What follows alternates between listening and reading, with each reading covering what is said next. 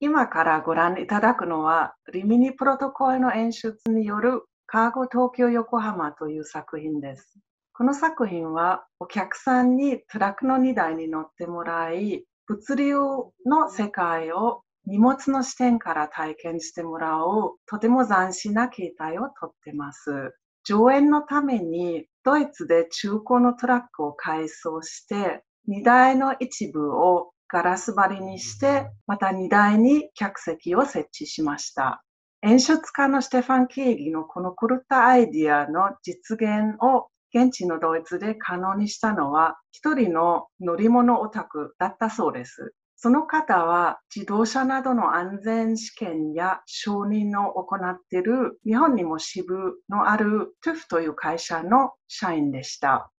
乗り物に対する情熱に加えて、車のことを何でも知ってる専門知識の豊富で頼もしい存在でした。その方が演出家のプランを聞いて、それに対して燃え上がって、やるぞと決めて、ドイツの方で許可関係を全てクリアできるように非常に有利に働いたそうです。オタクは日本にもたくさんいますけれども、日本という国では個人の情熱によって物事を動かすのは限界があるように感じます。この作品の制作プロセスにおいてそれを日々実感しました。このトラックを日本の道路を走らせるために1年以上続く我慢、粘り、調整、変更の連続が重なる交渉の試練でした。交渉の中で前例がないというフレーズを数えきれないほど聞きました。上演に必要な許可が全て降りたのはまさに初日の2週間前です。なので、この作品の上演は日本でできたのは奇跡だと言っても大げさではないかもしれないです。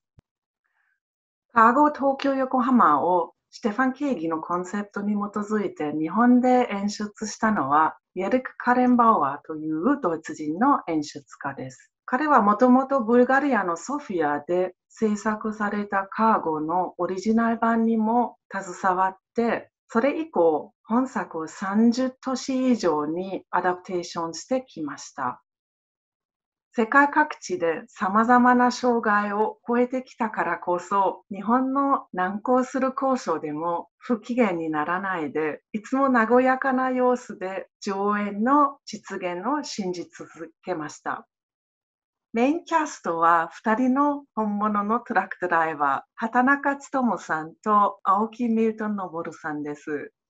この作品の上演時間は、もう本当その日の交通状況によって全然違ってきますので、あの、お話の引き出しをいっぱい持たないと、もう最後までやりきれないので、お二人はサービス精神強く、いろいろお話を考えてくださって、物流への導入に努めていただきました。それでは、前例のなかった作品をお楽しみください。